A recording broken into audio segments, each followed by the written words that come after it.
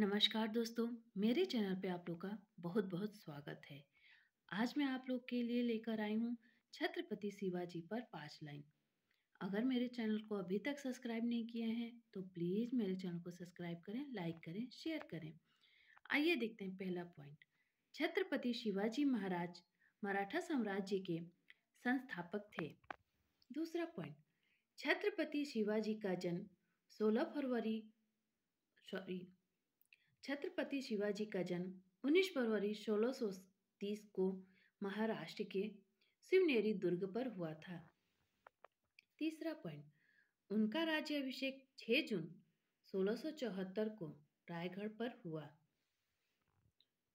चौथा पॉइंट, छत्रपति शिवाजी महाराज की जयंती शिव जयंती के रूप में प्रतिवर्ष 19 फरवरी को मनाई जाती है। पांचवा पॉइंट यानी आखिरी पॉइंट उनका देहांत तीन अप्रैल 1680 में हुआ था। अगर हमारी वीडियो आप लोग को अच्छी लगी है और मेरे चैनल को अभी तक सब्सक्राइब नहीं किए हैं तो प्लीज़ मेरे चैनल को सब्सक्राइब करें लाइक करें शेयर करें। Thank you thank you for watching my video